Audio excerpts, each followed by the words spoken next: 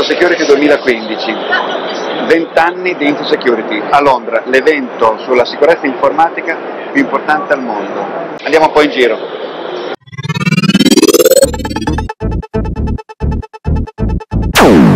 Serverlab. InfoSecurity 2015, 20 anni di InfoSecurity a Londra, 20 anni di, del salone sulla sicurezza informatica più, più famoso, più importante al mondo che attrae più di 300 espositori.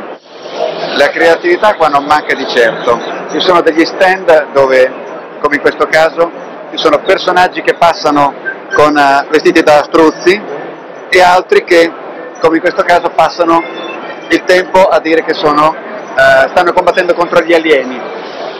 Comunque la, la questione della sicurezza e soprattutto della, della sicurezza contro, cioè della, della, difesa dagli attacchi di virus, eh, malware e compagnia è diventata una, una, una, follia, una follia nel senso che da una parte le aziende non sono in grado di, di proteggersi, non sono consce che, del pericolo che corrono, dall'altra parte chi eh, propone tecnologie eh, valide a, a, a difendere le aziende eh, sta cercando la strada per comunicarla in maniera corretta.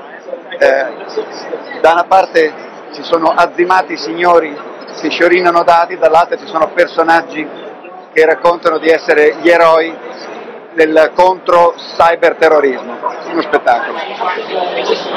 Qualificare il rischio, definire il rischio.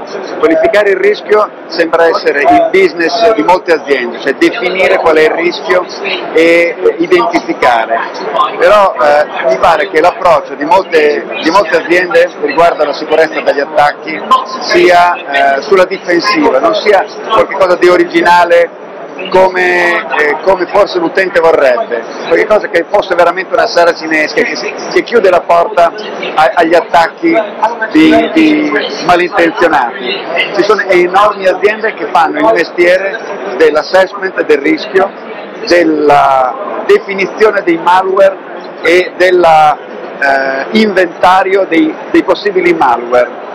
Io francamente la, la, la, raccolta dei malware non la vorrei fare se, se, se avessi del tempo da perdere, però eh, capisco anche che eh, quello che devi fare per primo è definire il, livello di, di, insicurezza che c'è in questo momento eh, in giro per poter scalare i piani alti, andare dove si allargano i cordoni della borsa e dove si decide di investire.